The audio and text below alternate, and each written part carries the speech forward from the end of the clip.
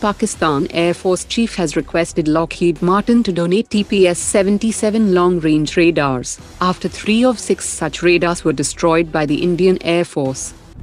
Pakistan's ISPR has imposed a strict gag order on Pakistani media outlets and has barred any coverage of the damage to 11 Pakistani air bases hit by Indian Scalp and BrahMos missiles. Pakistan Air Force engaged three private satellite firms to assess damage at an Indian Air Force base, but with no impact found, the embarrassed Pakistan military quietly shelved the reports.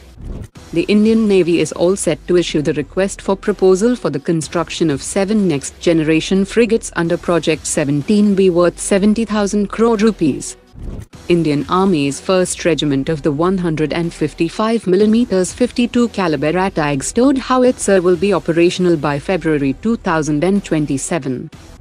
The DRDO developed 155mm 52 caliber ATAGS mounted gun system has started user trials with the Indian Army, and the Army plans to procure a total of 814 units. It has a strike range of 45 kilometers and can fire 6 rounds per minute and it can also transition from mobility mode to firing position in just 80 seconds, and back to mobility mode in 85 seconds. The Defense Secretary has confirmed that the development contract for AMCA prototypes will be awarded within 3 to 6 months, and the aim is to roll out the first prototype by 2028 and first flight by 2029, with full development trials complete by 2034 and production from 2035. HAL chief has said, Hindustan Aeronautics will invest 4,000 crore rupees from internal funds to develop the Indian multi-role helicopter, and HAL aims for a first flight by 2028 and induction by 2032.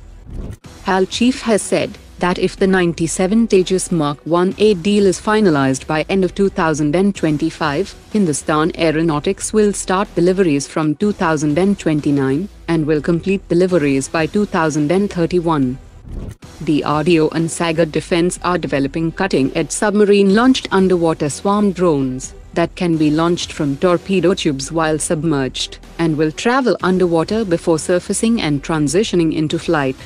It will have an endurance of over one hour and a range of more than 20 kilometers that will extend submarines' intelligence surveillance and reconnaissance capabilities while preserving stealth. In a strategic shift, the Indian Navy has decided that the two nuclear attack submarines cleared under Project 77 will be armed with BrahMos two long-range hypersonic cruise missiles that will offer strike ranges of 1,500 to 2,000 kilometers, enabling launches from safe standoff distances.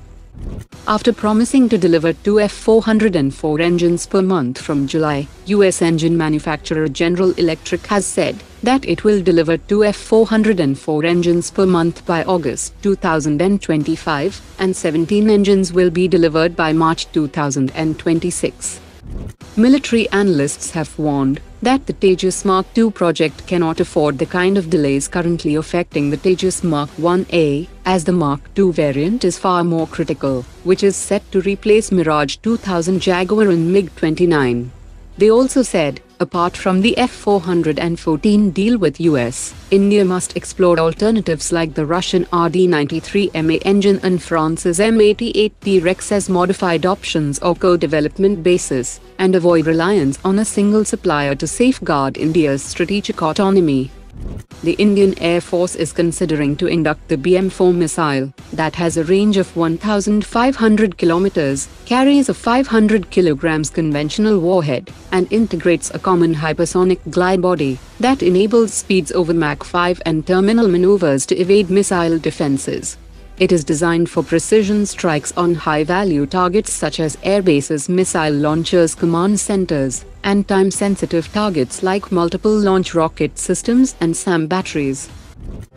Today's top 3 comments.